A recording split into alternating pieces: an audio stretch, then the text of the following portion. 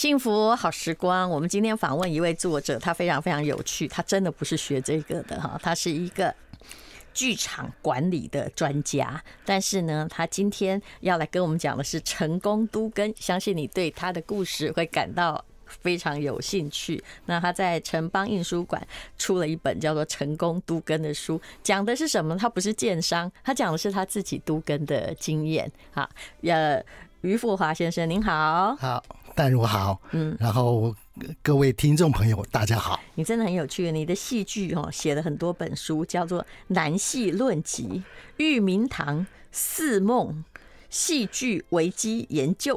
剧场管理论及剧场安全，所以你的一辈子都是在剧场做这个，等于说环境管理，而且在研究其中的理论，对不对？对对对，因为我一直在国家两厅院工作，工作了三十五年，而且你也有去教书。对对对，我在文化大学的中国戏剧系还有大众传播系也有教授这个课程。结果他现在呢写了一本书，叫做《成功都根》，是你的。都根的过程，我们就来讲这个故事好了。嗯嗯啊，你都根也花了十四年。这是哎呦我的妈呀！也就从几岁到几岁？我大概五十几岁吧，现在已经六十八岁了。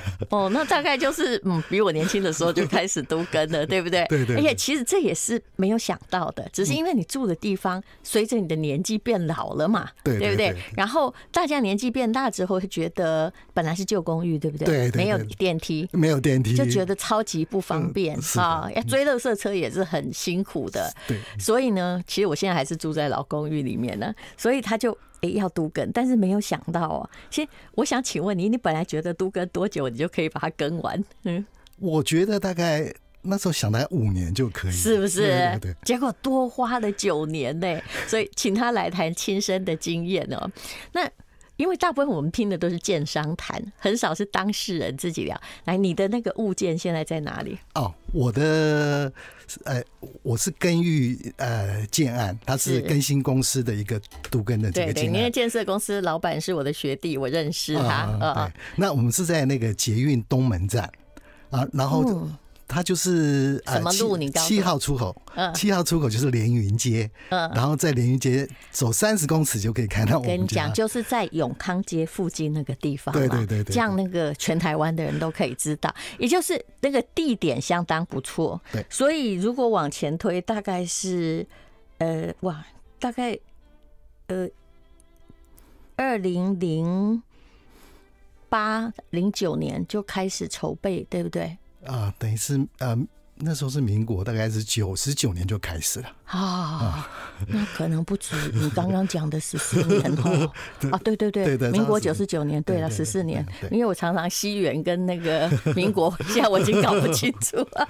好，就是十四年的期间。那那个房子在要进入都根时是几岁啊？嗯。啊，那时候已经四十五岁了。嗯，那这房子你是怎么样买的呢？嗯啊，因因为我在国家两天上班，所以我就住近一点。对，要住近一点。因为工作的时间非常长，然后到节目结束，所以我就在在这个那个附近找。嗯，那因为我在之前我就住在杭州南路的呃一个巷子里面，然后就那也很近啊，对，也很近，对。嗯，那我就那个房子就比较小，就十九平，所以我就希望换大一点的一个公寓。对，有了小孩了嘛，对不对？对对对对，当时对，因为刚好小孩从从台南成功大学回台北，嗯，所以就觉得比较小，所以我们就原来是小孩已经大学毕业了。对对对。那连云街这边有几平啊？连云街这边有三十八平哦，好，那三十八平，可是你买的时候它已经是个老房子，对对对对对，那住了到九十九年的时候就住了大概已经十呃，就是我买了九十九年之后，大概住了十年之后才开始，呃，就是拆房子的时候是一百零，你二十几岁时候住它啦，对不对？呃，然后四十，我是说他二十几岁的时候你住他，对不对？然后住了十几年，也是这样嘛？对我我在也是住了十十几年。我们要先了解一下历史哈。所以啊、就是接手的时候已经是一个中古屋，年纪也蛮大了，对对但是二十几年跟四十几年还是有区别，嗯嗯嗯很多的管线会出很大的问题对。但那个地点还好，是一个黄金地段哦对。我们今天访问的是于富华，其实。我后来发现哦，工作影响你的财富，哦，为什么呢？比如说你在两厅院工作，你就只好住在那个杭州南路连云街，尤其你工作到很晚，嗯你不太可能住什么嗯、呃新店啊、北投啊，嗯对不对嗯？对，所以我后来就发现，大家都会买在工作附近。嗯比如说你附近常常也是连云街有很多公务人员，对不对？嗯有的是什么中华店电啊，信对对不对？好，有的人可能在鼎泰丰上班，结果他们因为工作就买在那里，所以后来呢，那里的地方也变成了一笔当你退休之后很大的财富。所以我说，你选的工作肯定影响你的财富。哦，对不对？对对对啊，所以很幸运的在连云街，那开始要都根的时候，是因为体会到嗯老公寓的什么样的问题？哦，没有，那是那个时候刚好就是政府一直台北市政府那时候郝龙斌当市长，他就一直在推这个都更，嗯，而且他那时候一直在讲说是旧公寓一平换一平，嗯，所以啊、呃他那时候在而且不用付钱，对不对？是刚开始有这个想象，嗯对对对对，那我去他刚好在成成功中学那时候做这个宣导，那我去听，那时候嗯满满的人，然后我就听得很兴奋，I like Ealing Sound. I like radio. 幸福好时光，我们今天请到了一位啊，他是剧场学的老师，但今天他写的《成功都根》就是他的房子哦，去都根的故事。我刚刚一问，发现说他这么辛苦，本来以为他已经住进去了，结果还没，已经都更完了。对对对对，已经快完成，因为刚好我们这个呃遇到的就是疫情，呃还有俄乌战争，嗯，因为疫情呢，它就是俄乌战争也跟都更有关啊、有有有有有，对，疫情的时候根本就是呃完全找不到工人，对。对。对，然后还有一段时间是工人都几乎都跑到南部去了，因为那时候嗯呃要一些电子厂要盖啊，盖厂，所以那时候就是高薪都请到南部去了，所以是完全找不到工人。其实现在也不太找得到 装潢工人哦。对对对。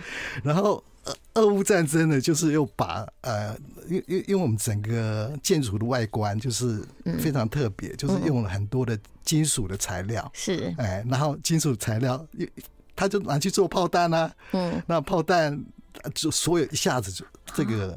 你讲的我觉得关系好远呢，但是这是真的啊。真的是，这是真的。哦然后所以金属就变贵了，对对对对，也找不到。对嗯，营造公司他就他没有办法施工，因为他要从这些，他还有很多的跟金属公司合作，嗯，然后他的成本一提升之后，他说他没有办法施工，因为施工他就就就亏钱，对，所以就啊，我们住户大家都一起协商，看怎么去解决这样的事情，所以最后还是用贴补这个工程费的方式，啊对，让他可以继续施哎，工。可是其实我知道你这样讲的好像很轻松，对不嗯对？比如说人家叫我贴补，我一个人说哦，OK OK，可是问题是你们有多少户啊？对不对？不是每个人的经济状况不一样啊。嗯你们后来又因为这些变故又多补。一一户又差不多多贴了，因为不太准哦，因为每个人平数不太一样，就是呃，差不多整个工程款追加了多少？啊，我们当初签合约的时候，嗯。跟营造公司是签十八万，哦，对，那应该我觉得结束的时候大概应该要到二十五万，所以你你讲的是一平一吗？瓶一瓶哦。一瓶，所以你可以看到，呃嗯，在这过程里面，真的，我嗯。我觉得营造公司也很帮忙，然后帮我是。们，呃，这个。呃，负责都跟的这个杜根公司也非常的帮忙，才有办法去解决这样的困难的问题。其实从你这句话哈，我大概就可以推造，其实房价哈要真的要跌不易。为什么？建筑成本就这么贵。那外县是很多的，比如说我住在宜兰好了，嗯当时哈我们以前那些中古屋，因为是造价的问题，一平十万块的。公寓到处都是，嗯可是现在新的一定要三十几万，为什么？因为造价就是二超过二十以上啊，对不对？嗯，也不是最顶级的哟，嗯。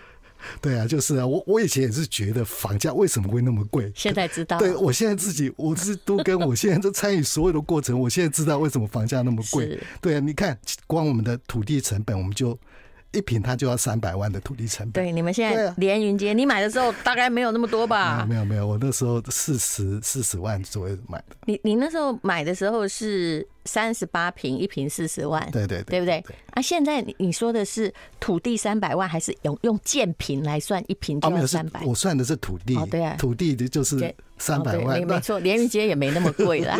但是现在连云街，如果你买新的一平，也要一百五以上吧，还是更贵？呃，详细价格我不知道，应该是有对有这个价格，因为我很了解，大概一百出头已经买不到了，很可怕。嗯嗯，好，那么这就是台北居大不易。那还好他做对了工作，所以房子买在国家戏剧院的旁边。那中间的那十四年，啊，除了你刚刚讲的俄乌战争，那是最近期的追加，嗯前面光同整住户。遇到什么困难呢？哦你可以讲故事哦。我我们大概前面呃整合大概就花了五年的时间，嗯，哎，那因为这个都根呢，就是它市政府是希望能够做一个接阔的都根，所以呃市政府有找我们去去开会，就是我们在附近的这些呃相邻的这些旧公寓，然后。啊、去开会。那开会完了以后，那我们就回来，就是每个公寓呢，我们都有一个呃，有有一个代表，就等于是我们组了一个都跟小组。哦，所以不止你们这公寓，就附近的公公寓一起跟但这有政府的力量，所以基本上还快了一点点，对不对？呃，对，可是政府他没有办法让我们去做。呃，他整合，他只能开一次会，我就让你们自己去整合，要整合成功以后，再向政府去申请他的这个整个执行的计划。而且政府是不可相信的。为什么我这么说呢？因为民选哈，过几年就换一个，嗯，那换一个，他后来的策略可能不一样，前面的人的承诺他未必要答应，对吧？嗯，嗯，对，因为呃呃，刚刚就谈到这个一平换一平的问题，这哎个其实是每一个住在旧公寓住户希望达到的，嗯，可是实际上呢，呃，是是可能很多人都达不到，怎么说呢？呃，因为他这个你居住的这个地点。啊，嗯，居住的地点，还有你的楼层，他的怎么建壁容积对对不是都有补助，补助到你可以一平换一平，最重要就是说你的土地的持分要大。啊。你如果土地持分不大的话，那嗯基本上都像我像我都没有室内换一一平换一平，而且是我我自己出所有的这些新建的这些经费，我都我都没有达到。我我现在室内只有三十二平啊，哦。对他我我原来是那三十八平，所以对，还没有达到。哦。而且我想要问一个问题，也就是都更之后，大家比较难接受。以前老公寓的三十八平，因为虚平是台湾我觉得一个很严重的问嗯题。老公寓的三十八平的话，可能像我家是也是四十年老公寓，大概是它的公社顶多二十趴。可是你现在的三十二平，是不是也要割掉公社的三十几趴呢？嗯哼，对不对？对对对对。那你现在也剩下只有大概二十啊，没有没有，我我是总平数是五十二平哦。啊，对，不要总吓我！你到底是算的是总平数 还是数五十二平，室内的平数哦室内是现在剩三十二那本来的三十八是什么？本来是室内三十八，对对旧总公寓平数是多少？嗯，也是五十二哎，没有，旧公寓就是三十八平哦。所以你三十八换的五十二，52还不止一平换一平，但是里面其实比以前小，小，对对，比以前小。而且那个二十五万，哎，二十五万新建成本等于都后来都是你付的，对不对？对对对对，那我那要每一家都付得起，这才是个问题。但是不是万一付不起也有贷款嘛？对对对好对，好，还好现在贷款率比我们年轻的时候低。嗯那么这个二十五万，所以还要再乘以五十二哦，你还花了一千多万。对对对。哎呦，那万一没钱怎么办？里面有一户没钱就不用都跟了。哦，不过这个还有就是，因为我们对这些呃都跟着这些专业的知识法令不够了解。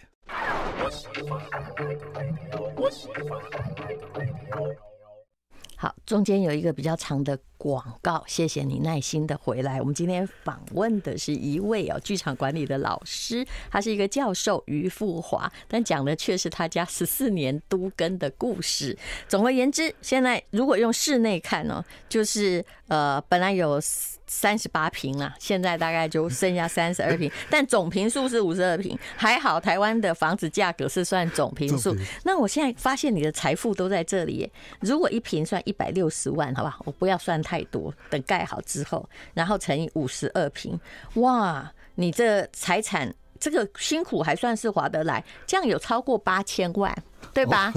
嗯 希望是这样子，对。但没想到你书写完了，竟然还没有装潢好，就快落成而已的。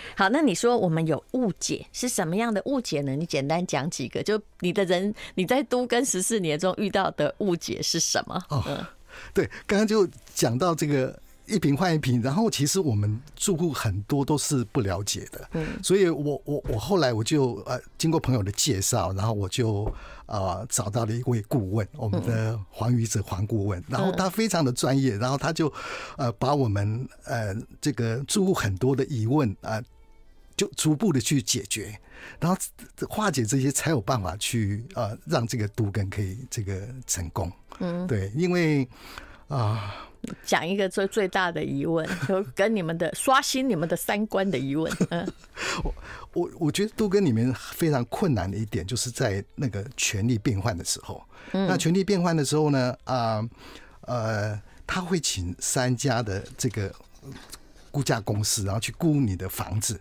权力变换是指我刚刚说的民选市长又换了一个嘛？哦，不是不是不是，他是一个都跟里面的专有的名词，叫做权力变换。权力变换对对对对哦，对，所以谁谁的权力被变换？就是我我的旧公寓怎么去变换哦那个叫？做权力变换，对对对然后呢，找了三家估价公司，找了三家估价公司，然后他就估你的房子是多少钱多少钱这样。可是呃，因因为每个人其实都认为自己的房子最好，哎，对，最好。然后比如说像我，我家，因为我住四楼，结果因为我的房子，因为我买的时候我还有把它装潢过，请问你总共几楼？呃五层楼，哦，好五层楼，所以嗯 对。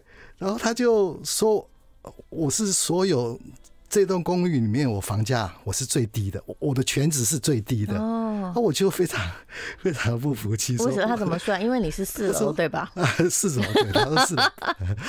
他说你们家花的装潢钱是不算的。对呀，我们买房子的时候都跟他讲说，我的跳掉啊，因为在在他们的这个这个就是算全值比的时候，他们的法令规定说是这个是不算的。是我我真的很难接受，我都想说。那那我还都都跟干嘛？就是觉得很不公平，因为其实很多的都跟的专家都在讲说，都跟其实是在都人性，是人性，就是说人都要求一个公平嘛。那为什么我会后来怎么解决？你有没有头一扭说，哼，我不跟了？我我内心有这样的一个纠结嗯过。其实因为我我觉得跟我学戏剧有很大的关系。嗯，因为戏戏剧都一直在啊、讲说要合作。嗯，对，因为因为它是一个没有合作是没有办法去完成一件事情的嘛。不，像我太太是学音乐，她自己在家里嗯努力拉琴就好了。可是我演戏的话，我要跟其他的演员去做配合。而且你是剧场管理啊，更是一个协作的关系，对对不对？我那时候就想到，我在演戏的时候，那时候演一个。就是一个一个强盗帮的这个帮主，嗯，然后他要就是决心就是要改过，那改过是要摔一个碗，嗯，好，那我啊那段戏是这样，你讲的是你大学时候的大学的时候，对对对对，我就想到那个，因为你后来没演戏啊。好，请说摔个碗怎么样？对，那然后我就关老爷在上。今天如果违背誓言，就像这一只碗一样，啪，我就摔下去。啊结果我们同学准备了一个塑胶碗，这 个塑胶碗在地上一直滚，一直滚，然后所有的观众在都在笑，这也很好笑啊。对，非常好笑。然后 I like Ealing Sound. I like radio. 今天是于富华老师，他是一个戏剧管理的老师。那他才讲的是他家的成功都根了。我说真的，我把这本书看完，那我也推荐你去找这本书，是因为啊，嗯，你可以看见都根的种种问题，还有每一个想都根的误区，甚至还他也把法律做一些很简单的解释，容积率或什么呃一些细节哦。不过我看完之后，我就知道哇，都根真的不容易，我的想象的蓝图好累呀、所以很多中介在告诉你说，这个以后会都根啊，那你就看看有没有命等。我现在都跟人家讲说，我可能没命等哦。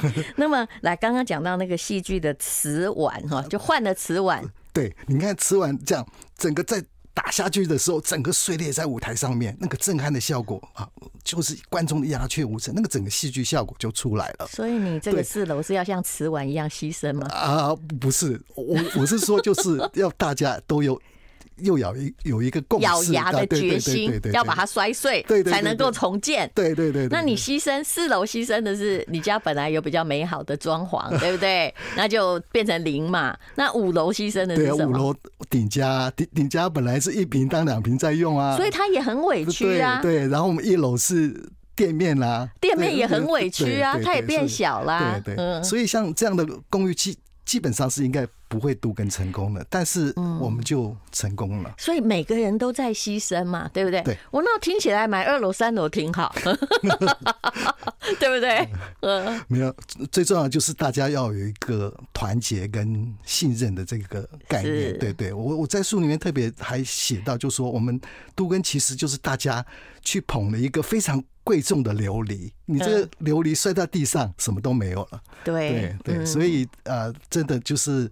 在这边特别呼吁所有要杜根的这些住户，真的一定要团结跟信任，才有办法去成功。那于先生，也就是你说你现在六十八岁，对不对？你开始办理都更是是五十几岁，就正准备就是将来快要退休，所以需要有电梯的时候，你中间有没有一阵子在想说，啊，我个蛋蕊龙磨灭啊，有没有这种感觉？有有有有而且我相信哦，十四年间有一些人真的是没有等到哎、啊，对对对对，真的是，其实就是啊、不有很多的挫折啦，在那个嗯挫折过程里面，其实都都想停下来。对，那另外一个挫折是什么？主要是你要必须要牺牲嘛，对嗯你被估价最低，好，你咬牙认了。那另外的挫折就是差一点进行不下去的问题在哪里？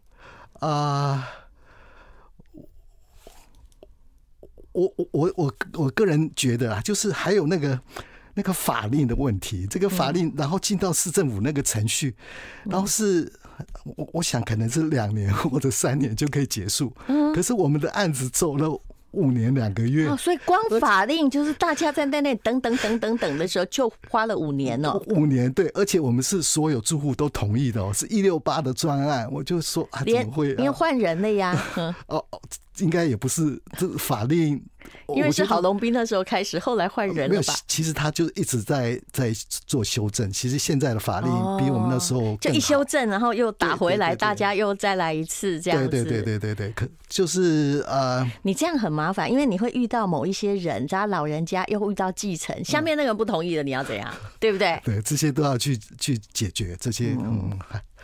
好，所以后来你说还好遇到贵人，我后来知道你的贵人是谁，就是那个建设公司老板，他本身他家也在那里，嗯，所以他自己也可能咬了牙，也在牺牲，对不对？啊，就为了要把自己的老家盖好，对对对嗯，对，因为我们这里面我们的贵人真的是第一个是我们的邻居，我们邻居非常对团结，大家都。在牺牲，第二个是我们的顾问，然后他帮我们解决了很多的问题，嗯，然后再过来就是这个都根公司这个黄章伟董事长真的帮了我们很多的忙，对。然后还有我们的营造公司张张清淼总经理也帮了我们很多的忙。可是好，可是现在无论如何，可是营造公司也曾经就是我反正一直就在赔钱的啊，因为你做工程太久了，我的物料本来的估价在涨价，我做不下去了，对不对？啊，也还是要住户出来这个把这个建筑的费用全部补足啊，嗯嗯嗯，而且比你想象中高很多。对对对嗯。对，现在各位不要欧北装潢，这是我个人的劝告。嗯，因为我看过有些朋友啊，就全部装个三三十平的房子，因为他想象中比较完美，本来只打算花三百万已经算很多了吧？因为三十平里面并没有一定有三十平哦，有的很小哦。结果他花了六百万，你知道吗？所以我后来觉得完美主义者一定会在房子上面吃大亏。将来你如果要卖别人的话，大家一定会啦，会加一点点价值，但是他一定不会把它算在估价里面。他比较喜欢买你有装潢的房子，可是你要跟他说，我当时花了多少钱，你别想人家会给你，是不是？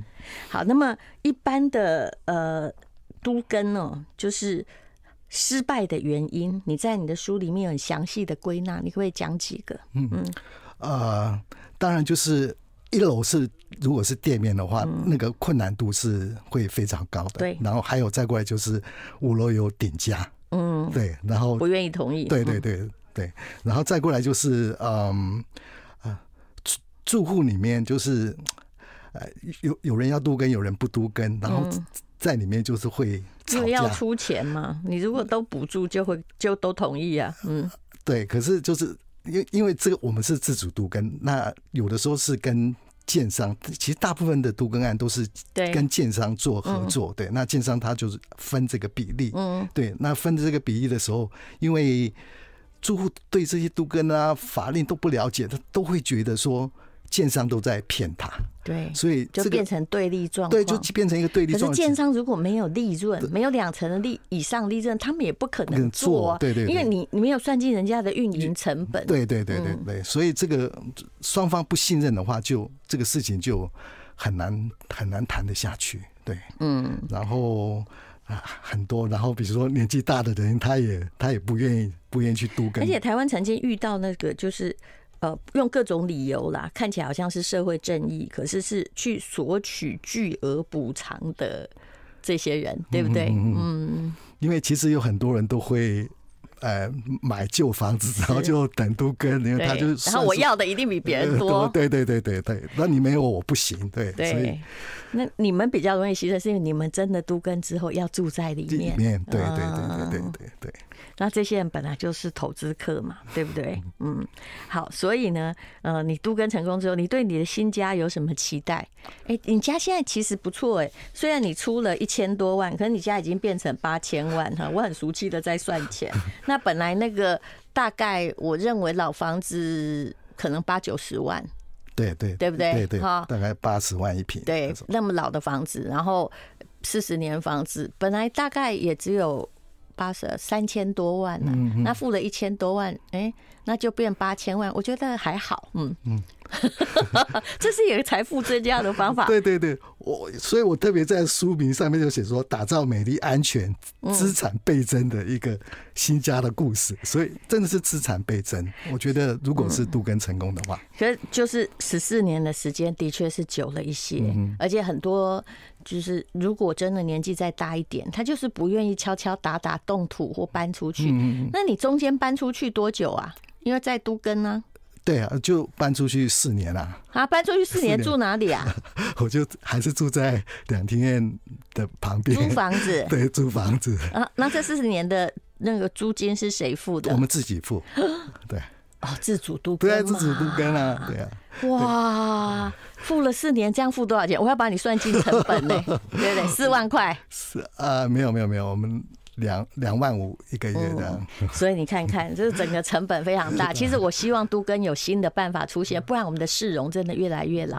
好，谢谢于富华先生。I like Ealing Sound.